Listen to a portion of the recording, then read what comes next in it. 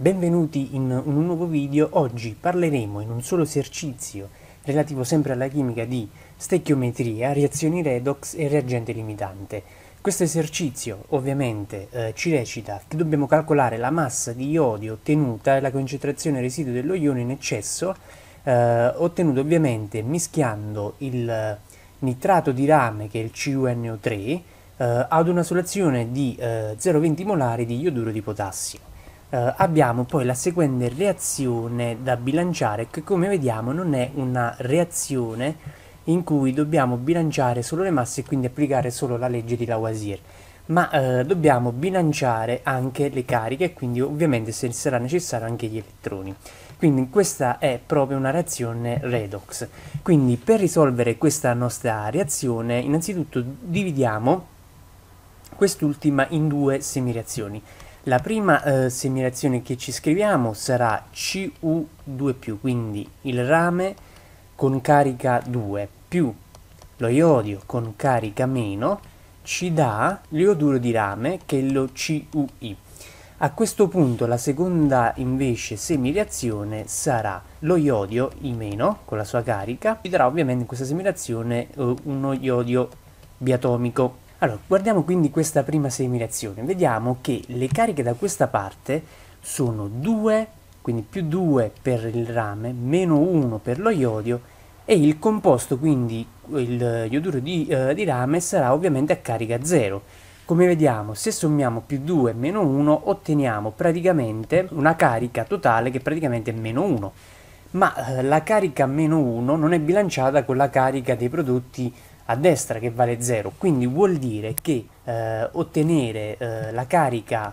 0 anche sulla sinistra dal lato dei reagenti eh, dobbiamo praticamente aggiungere un elettrone, quindi vuol dire che è stato ceduto un elettrone durante la reazione, quindi questa reazione si scriverà come Cu2 più I a cui appunto aggiungiamo qui un elettrone extra E che ci dà ovviamente CuI. A questo punto rifacciamo il conto delle cariche, abbiamo 2 meno 1 meno 1 sarà 0 contro i 0 dello ioduro di potassio, quindi le cariche sono bilanciate.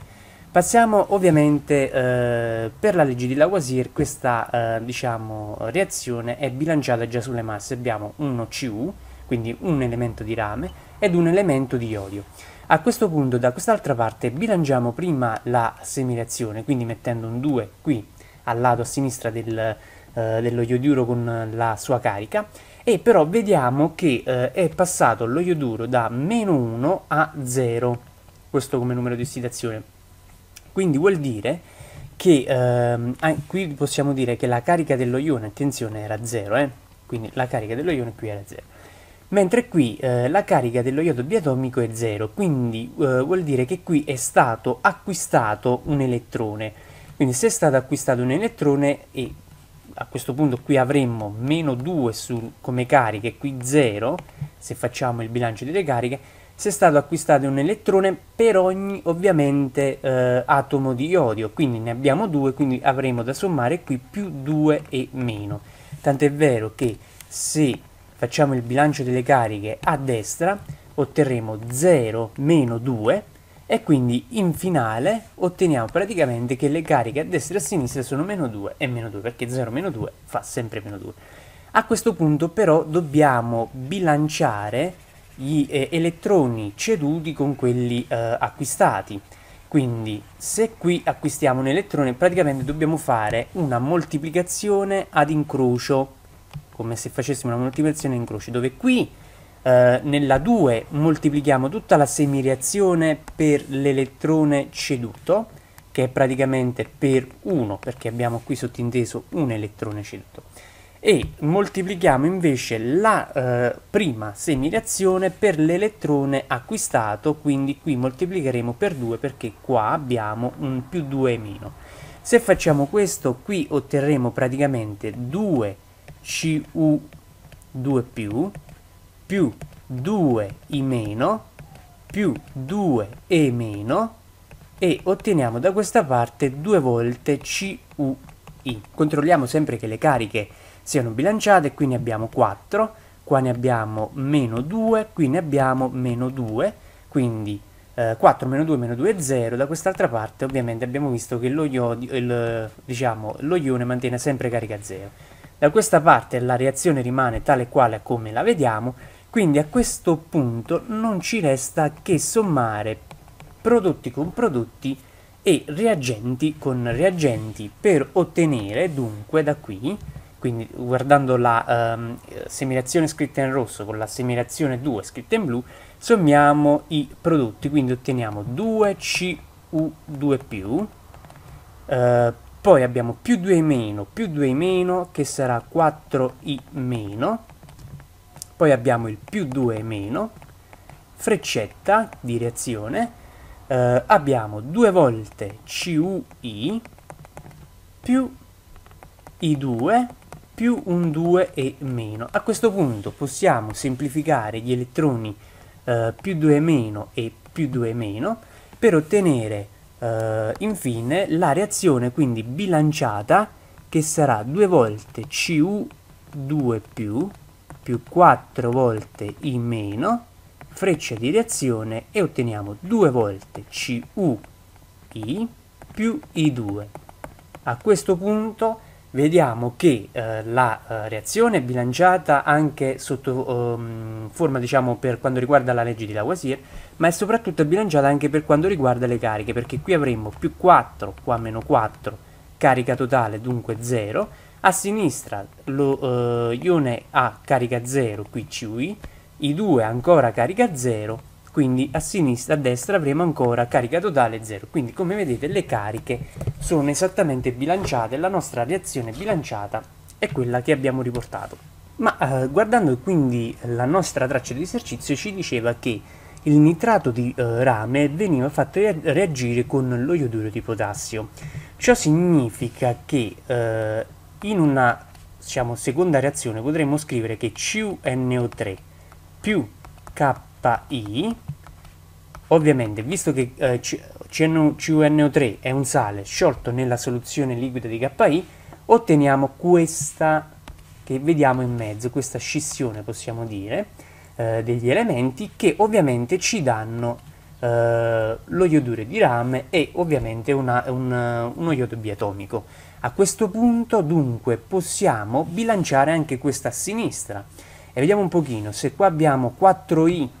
di iodio, qui ne abbiamo anche qui 4, allora anche da questa parte dobbiamo avere 4 di iodio. Qui abbiamo 2 di rame, 2 di rame, anche all'estrema sinistra dovremmo avere 2 di rame. Dunque abbiamo bilanciato anche gli ipotetici reagenti ehm, che ci sarebbero a valle di questa eh, reazione. Quindi questo è molto importante perché adesso andremo a vedere chi è il reagente limitante tra eh, lo ioduro di potassio e il nitrato di rame. Come facciamo ad individuare chi è il reagente limitante? Dobbiamo eh, semplicemente eh, calcolare le moli dei eh, due reagenti e dividerlo per il coefficiente stechiometrico che hanno loro davanti. Quindi vediamo un po', le moli dello ioduro di potassio non ci vengono fornite, mentre di CuNO3 sì. Quindi come calcoliamo le moli,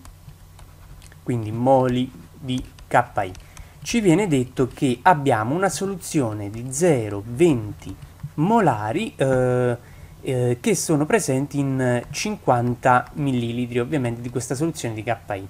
Noi sappiamo che la molarità si esprime come numero di moli, quindi del composto, quindi KI, diviso il volume totale. Questo 50 eh, ml sarà il nostro volume totale e pertanto possiamo calcolare le eh, moli di ioduro di eh, potassio come la formula inversa facendo molarità per volume totale. Quindi la molarità sarà 0,20 molari per ovviamente 500 mm va passato in litri perché qui sarà moli sul litro per la molarità che è l'unità uh, di misura appunto della molarità quindi sarà 50 per 10 alla meno 3 uh, litri e otteniamo 1 per 10 alla meno 2 moli di ioduro di potassio. Quindi adesso abbiamo sia le moli dello ioduro di potassio sia le moli di CuNO3 che sono 8 per 10 alla meno 3. Per stabilire quindi il reagente limitante Dovremmo dunque fare il numero, numero, di moli di KI diviso il coefficiente stechiometrico che è 4, vediamo sull'estrema sinistra della reazione bilanciata, per ottenere dunque 1 per 10 alla meno 2 diviso 4, otteniamo come risultato che è 2,5 per 10 alla meno 3 moli, mentre eh, andando a calcolare eh, NCuNO3 diviso il suo coefficiente stereometrico all'estrema sinistra della nostra reazione che sarà 2 otteniamo 8 diviso eh, 8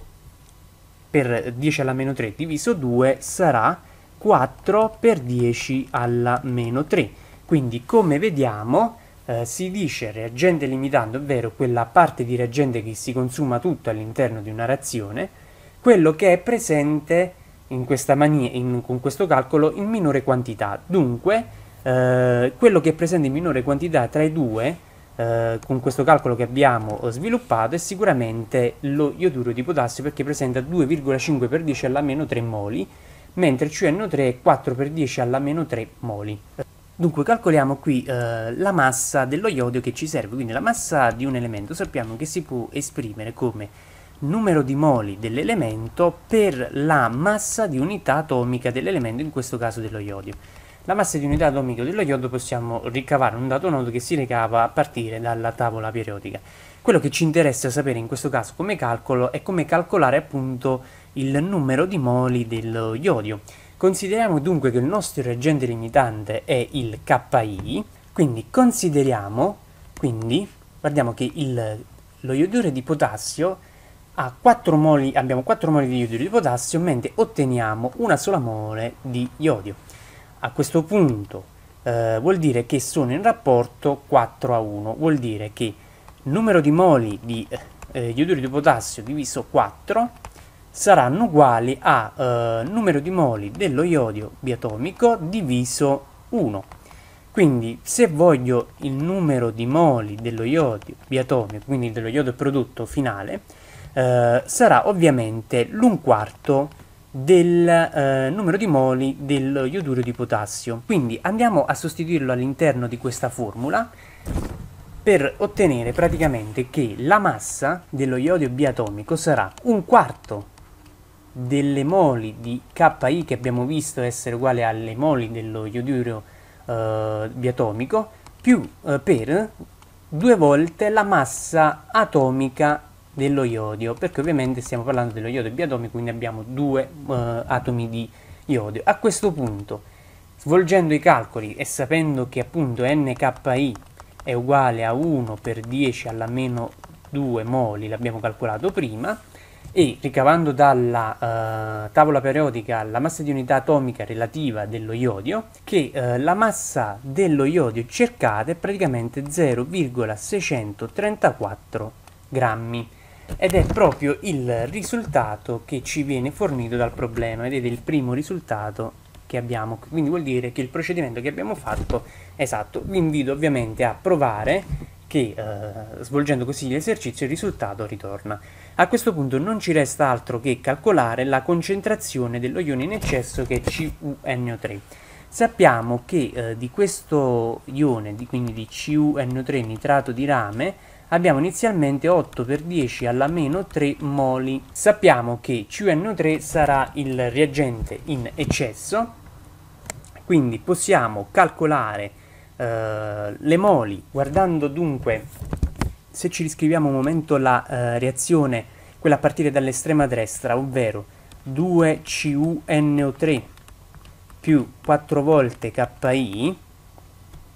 che ci dava tutto e bla bla bla bla, come vediamo, eh, il nitrato di, eh, di, rame è in un rapporto 2 a 4 con lo ioduro di potassio, vuol dire che il numero di moli di CuNO3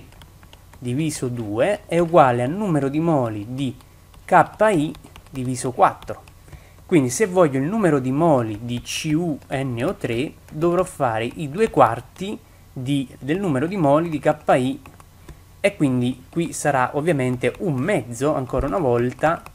del numero di moli di KI, che sappiamo essere ancora eh, 1 per 10 alla meno 2 moli, quindi il numero di moli di CuNO3 saranno praticamente 0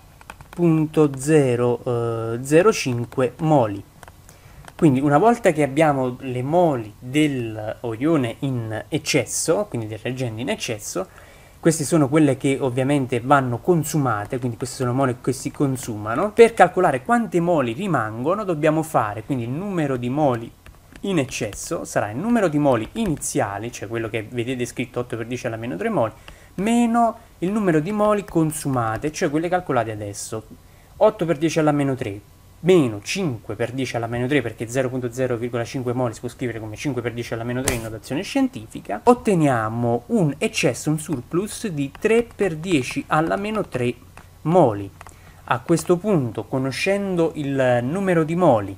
possiamo calcolare la concentrazione, come ci richiede il problema del, uh, dello ione in eccesso, scrivendo quindi molarità è uguale al numero di moli eh, in eccesso dello ione diviso il volume totale. Il volume totale del recipiente era di 50 ml, quindi volume era di 50 ml, che abbiamo visto possiamo scrivere anche come 50 per 10 alla meno 3 litri. Se dunque sostituiamo questi valori all'interno di questa formula, otteniamo come concentrazione del nitrato di rame eh, una concentrazione pari a, a 6 per 10 alla meno 2 molarità. Quindi a questo punto andiamo a controllare il risultato e appunto eccolo lì, il secondo risultato